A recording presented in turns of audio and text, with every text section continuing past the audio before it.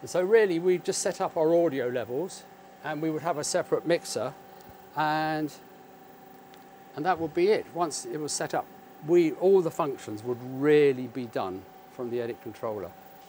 Sadly, this is not quite doing what I want it to do, but basically, so edit controller, and what I loved about it was that you had a separate knob control shuttle and jog for the record machine and a separate shuttle and jog for the player machine.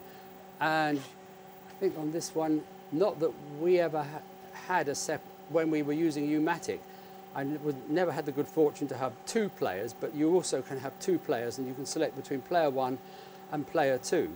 But when I used it, we only just had the one player. It wasn't until we moved on later on into Beta SP that sometimes we could have two players. Um, so very basically, you would play and shuttle through your tape until you found the relevant point. Sadly, at the moment, we've got a slight problem with this tape and it's not really wanting to show us.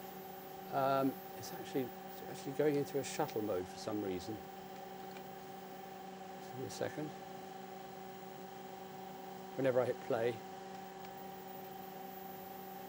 it's running very fast. It's not. Basically, anyway, I would find an in point, pause it, and I would then hold down the entry button and then press, press the relevant player in. Then I would then play further forward till I found what I thought was a suitable out point, press pause, press the entry button and press player out. So I would now have a player in marked in and a player out marked in. And I would then go over to my recorder, find the point where I'd like to add this new shot onto the shot that I've already got recorded. Say I wanted to come down there at the end of that pan up pause it there, and I'd then hold down the entry bar and then press recorder in. Sadly, it's not working on this system at the moment. Then once I'd done that, I could press the preview button and it would then wind back, however many seconds I set on the uh, pre-roll time, wind forward, and I'd watch the record monitor, and at the appropriate point, it would then cut over, not actually making the edit because it's a, a preview, to wherever I'd selected on the, on the player button.